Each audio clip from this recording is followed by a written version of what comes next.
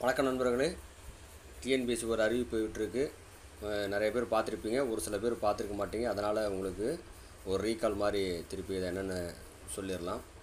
உங்களுக்கே தெரியும் ஏறத்தாழ ஒரு வருடமே ஆயிடுச்சு. இருபத்தி நாலு ஏழு ரெண்டாயிரத்தி இருபத்தி ரெண்டில் நீங்கள் தேர்வு எழுதுனீங்க. டிஎன்பிஎஸ்சி குரூப் ஃபோரு அதாவது கிராம நிர்வாக அலுவலர் இளநிலை உதவியாளர் கள உதவியாளர்னு சொல்லி பல பதவிகளுக்கு நேரடியாக நீங்கள் தேர்வு எழுதுனீங்க. ஏறத்தாழ ஒரு வருடம் ஆயிடுச்சு.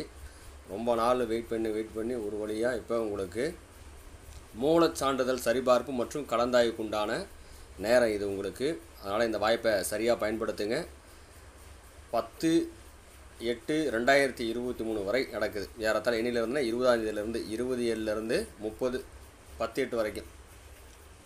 இருபது ஏழுலேருந்து பத்து எட்டு வரைக்கும். இதில் வந்து பார்த்தீங்கன்னா ஞாயிற்றுக்கிழமையும் மொகரம் மட்டும் இல்லை மற்ற எல்லா நாடுகளையும் பார்த்தீங்கன்னா உங்களுக்கு இந்த கலந்தாய்வு மூலச்சான்றிதழ் சரிபார்ப்பு நடைபெறும் அப்படின்னு சொல்லியிருக்கிறாங்க. அதனால் அதுக்குண்டான மாதிரி நீங்கள் எல்லாம் ரெடியாக இருங்க. இந்த கலந்தாய்வு பொறுத்த வரைக்கும் உங்களுக்கே தெரியும். மதிப்பெண் ஒட்டுமொத்த தரவரிசை இடஒதுக்கீடு அடிப்படையிலாம் இணையதளத்தில் விட்டுருப்பாங்க விட்டுருக்குறாங்க.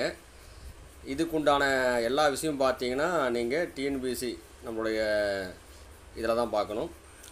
எஸ்எம்எஸ் மற்றும் இமெயில் மூலமாக மட்டும்தான் சொல்லுவாங்களே வீட்டுக்கு எக்காரணம் கொண்டு தபால் மூலயமா நமக்கு எந்த ஒரு விஷயமும் சொல்ல மாட்டாங்க அப்படின்னு உங்களுக்கு நல்லா தெரியும் அதனால் நீங்கள் நம்ம டிஎன்பிஎஸ் வெப்சைட்டில் தான் பதிவிறக்கம் செஞ்சுக்கணும். இந்த விண்ணப்பதாரர்கள் வந்து பார்த்திங்கன்னா மதிப்பெண் தரவரிசை காலிப்படங்கள் ஏற்ப அனுமதிக்கப்படுவார்கள் போட்டிருக்கு. இதில் கலந்துக்கிற எல்லாத்துக்கும் வேலைவாய்ப்பு உறுதி சொல்ல முடியாதுங்கிறாங்க.